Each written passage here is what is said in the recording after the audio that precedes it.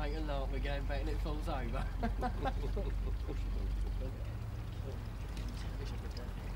over.